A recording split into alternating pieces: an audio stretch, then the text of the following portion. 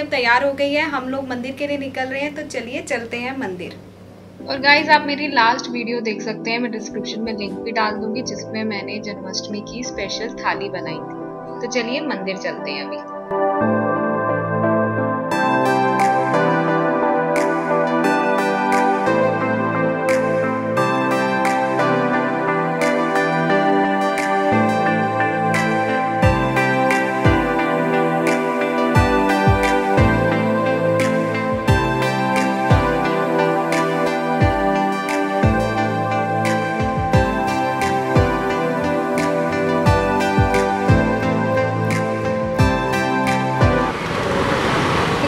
मंदिर है हमारा यहाँ पे, बिल्कुल घर के पास।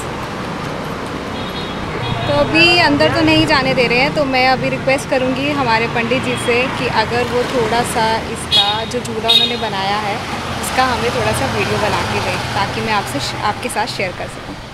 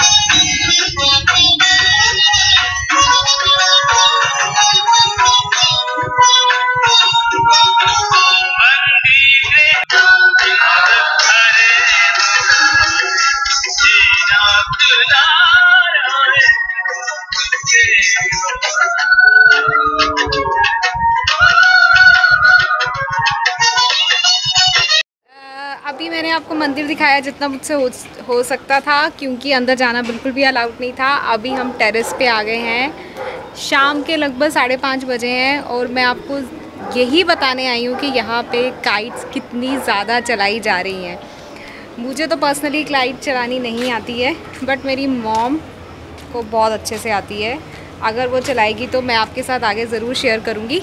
पर पहले मैं आपको दिखाना चाहती हूँ कि कितनी काइट्स चल रही हैं यहाँ पे।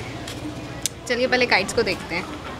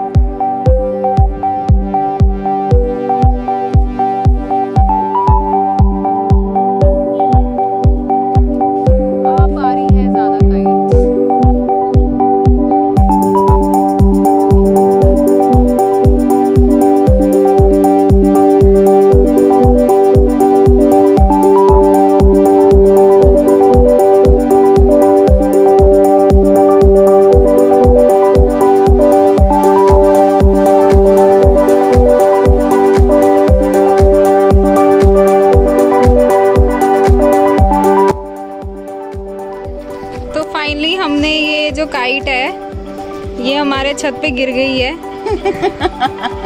और डोर भी। डोर भी हमने इकट्ठी कर ली है थोड़ी सी। ये देखो लूटी हुई लूटी हुई डोर। और काइट भी लूट काइट भी लूटी हुई है हमने कुछ नहीं लाया है। तो चलो मॉम अभी ट्राई करते हैं। जाएगी ऊपर आज?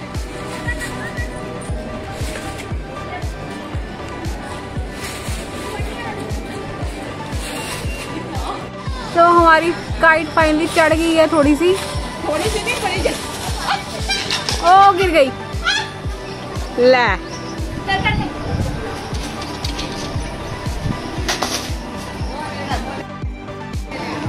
पूरा टेरेस जो है वो गीला हो गया है।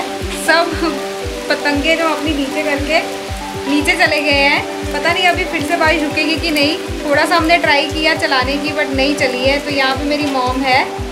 मम्मी आपने चलाई कि नहीं? मैंने चलाई है। कितनी चलाई? थोड़ी सी ही चलाई? थोड़ी सी तो हुआ गाइस ये मेरी मॉम जो काइट चलाने की कोशिश करी थी बट देखिए पूरा टेरेस गीला हो गया है धूप बारिश दोनों हो रही है। तो यहाँ पे हम अपना ब्लॉग ख़त्म कर रहे हैं। आई होप आपको हमारा ब्लॉग पसंद आया हो। इसके आगे मैंने रेसिपी का ब्लॉग भी बनाया था वो भी आप जन्माष्टमी में जाके ज़रूर देखिएगा मैं डिस्क्रिप्शन में डाल दूँगी। तो आप सभी को मम्मा बोलो happy happy Janmashtami bye bye enjoy and stay home stay safe